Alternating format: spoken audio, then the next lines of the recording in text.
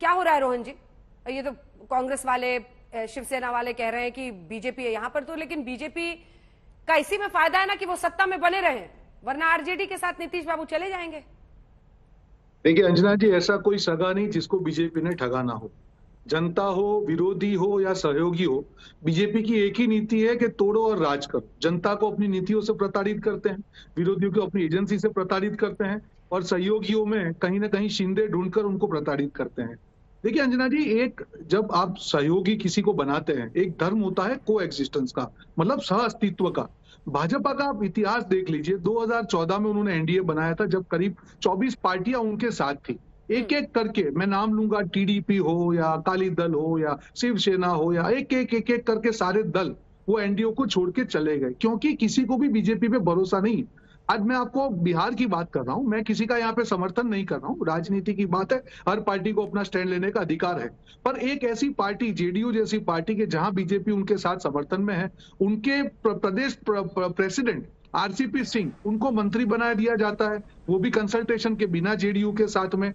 तो ये सिर्फ़ बीजेपी ही कर सकती है। जो छेड़ना बोलते हैं कि आप एक बार जो सहयोगी भी बोलते हैं और दूसरी बार छेड़ देते हैं तो किसी का भी सेल्फ रिस्पेक्ट होगा, आत्मसम्मान होगा तो उसको वो चुभेगा वही चीज़ शिवसेना के साथ में हुई। पर बीजेपी वहाँ पे भी रुकती नहीं है। फिर कहीं ना कहीं शिंदे ढूंढ लेते हैं और जिस प्रकार की राजनीति हमने देखी, जो महाराष्ट्र में है या जो भी पूरे देश में आज भाजपा अपनी सत्ता की लालसा के लिए कर रही, पूरे देश के लोकतंत्र के लिए खतरनाक है। अंजना जी सत्ता में रहना हर पार्टी का अधिकार है और उसमें कुछ मूल्य होने चाहिए। जब आप जो धर्म निभाते हैं सहयोगी उसके भी कुछ स्टैंडर्ड होने चाहिए।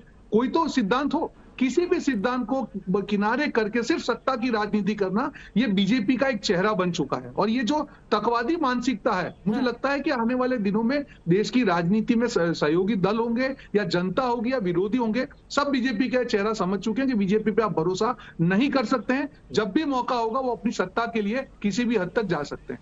बीजेपी पर कोई भरोसा नहीं करेगा सत्ता के लिए वो किसी भी हद तक जा सकते हैं। अजय आलोक जी ये बीजेपी के लिए कहा जा रहा है। सही या गलत? देखिए ऐसा है। पहली बात कि आरसीपी सिंह मंत्री बने थे बिल्कुल नीतीश कुमार के कंसेंट से। में कहीं कोई आज तक कोई कंफ्यूजन नहीं है। नहीं तो अगर मंत्री उनके कंसेंट से नहीं बने होते आ रही आ रही हूँ तो नीतीश कुमार। तो, नि, तो नीतीश कुमार आज से छह महीने पहले ही समर्थन विड्रॉ कर लेते ये मॉरल कॉन्शियंस और ये स्वाभिमान और ये सब चीज़ जागता है छह सात आठ महीने के बाद। हम्म, बेसिकली सच्चाई ये है कि बिहार का सर्वनाश हो रहा है हम्म, और नीतीश कुमार नाश कुमार की तरफ़ बढ़ गए हैं। ये होता है विनाश काले विपरीत बुद्धि। कोई आवश्यकता नहीं थी लेकिन अंजना जी जब अति महत्वाकांक्षा बढ़ जाती है ना तो आदमी इसी तरह के कदम उठाता है।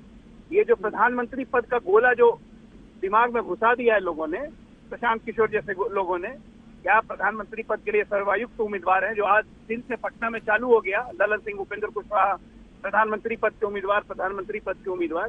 हम्म। तो ये जो बीमारी जिसको घुसती है ना तो वो सर्वनाश करवा के ही घुसती है। ये है। नीतीश कुमार और नाश कुमार बन चुके हैं। माधव जी इसका जवाब दीजिए। ये कहा जा रहा है, एक सेकंड इसके बाद रोहन जी फ़ौरन आ रही हूँ। माधव जी, चूँकि सीधा उन्होंने कहा है, इस पर जवाब आप दीजिए। ये यहाँ तक कहा जा रहा है कि यूपीए का चेयरपर्सन उन्हें बनाया जा सकता है, वो प्रधानमंत्री के उम्मीदवार बन जाएँगे विपक्ष की तरफ़ से। क्या यही सब लालच है कि एक अति महत्वाकांक्षी नीतीश कुमार को एक बार फिर से दिख रहा है कि वो प्रधानमंत्री का सपना पूरा कर सकते हैं? आदरणीय नीतीश कुमार जी को किसी से कोई सर्टिफिकेट नहीं चाहिए। और अजय आलोक जी का आ, मैं कहना चाहता हूँ कुछ समय पहले तक वो जनता दल यूनाइटेड में ही थे और आदरणीय नीतीश कुमार जी की प्रशंसा ही करते थे। इसीलिए ऐसे शब्दों का चयन करना विनाश नाश ऐसे शब्दों का चयन करना वो और अच्छे पढ़े लिखे व्यक्ति हैं। शब्दकोश उनके पास अच्छे खासे भंडार हैं शब्दकोश के तो ऐसे शब्दों से बचना चाहिए। मुझे लगता है कि मैं क्या बोला कि अभी कयास लगाना कतई उचित नहीं है। अभी सरकार चल रही है कल जो है विधानमंडल की बैठक है, जहाँ बहुत सारे इश्यूज़ पे जैसे डिस्कशन होने हैं। आगे क्या होगा? तो आपको पता चलेगा। लेकिन मैं अभी अधिकृत नहीं हूँ कि भविष्य में क्या होगा उस पर कुछ बोलने के लिए। वर्तमान में मैं इतना कह सकता हूँ कि एनडीए की सरकार चल रही है जिसके मुखिया अच्छा, आदरणीय। नीतीश कुमार जी हैं। और बाकी जिन लोगों को जो बोलना है जो कयास लगाना है लगाते रहे हैं। ऐसा है ना कि आप आप कयास तो लगाएँगे नहीं है बिहारवासी सुन रहे हैं ठीक है। आप कयास मत लगाइए मैं आपसे प्रश्न पूछती हूँ आप हाँ ना में उसका जवाब दीजिए जनता समझ जाएगी। लेकिन ईमानदारी से जवाब दीजिएगा ठीक है? तय है? रैपिड फायर राउंड शुरू करें। माधव जी? एकदम कर सकते एकदम क्या नीतीश कुमार जी की सोनिया गांधी से बातचीत हुई है? जवाब दूँगा। मुझे नहीं पता है आ, चैनलों के माध्यम से और सूत्रों के माध्यम से आप लोग के चैनल पे ही चला लेकिन ऐसा कोई ऑथेंटिक इन्फॉर्मेशन नहीं है। अगला सवाल क्या नीतीश कुमार की तेजस्वी यादव से बातचीत हुई है?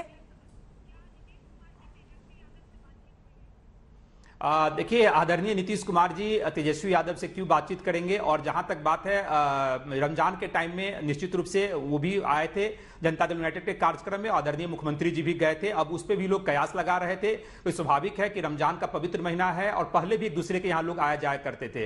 अब उस पर कयास जिन लोगों को लगाना है, लगावे और जहाँ तक बात है इन दोनों की बातचीत के तो विपक्ष के नेता हैं और एक मुख्यमंत्री हैं। दोनों के बीच अगर बातचीत होती भी होगी बिहार में बहुत सारे ऐसे मुद्दे हैं, विधानसभा में भी दोनों मिलते हैं तो बिहार बिहार के विकास को लेकर इन लोग की अगर बातचीत होती ही है निश्चित रूप से सबको जग ज़ाहिर है इसमें। रैपिड फायर का नियम यह है कि प्रश्न एक लाइन में होगा तो जवाब भी एक लाइन में होना चाहिए। अगला सवाल विधायक दल की बैठक में क्या नीतीश कुमार एनडीए में। बीजेपी के गठबंधन पर फाइनल डिसीज़न लेने के लिए विधायकों को कहेंगे? जहाँ तक मुझे जानकारी है, बहुत सारे इंटरनल इश्यूज़ हैं जहाँ विधानमंडल में जितने भी सदस्य हैं, विधायक हैं, विधान परिषद हैं, सांसद हैं, सबके साथ जैसे साझा मीटिंग होगी और उन लोगों से डिस्कशन होगा। आगे क्या डिसीज़न लेने वाले हैं, क्या होगा, आगे की रणनीति क्या होगी, वो मुझे नहीं पता और मैं उसके लिए अधिकृत नहीं हूँ। नीतीश कुमार नाराज़ हैं बीजेपी से? देखिए, कुछ मुद्दे तो डेफिनेटली कुछ मुद्दे ऐसे हैं जिसको, जिसके लेकर हमारी विचारधारा कुछ अलग है बीजेपी की विचारधारा कुछ अलग है। तो मैं नाराज़गी नहीं कर सकता हूँ, क्योंकि दो डिफरेंट दल है, दो डिफरेंट पार्टी है तो स्वाभाविक है, दोनों की विचारधारा तो एक जैसा हो नहीं सकता है। लेकिन ऐसी नाराज़गी मुझे नहीं ऐसा प्रतीत होता है अभी।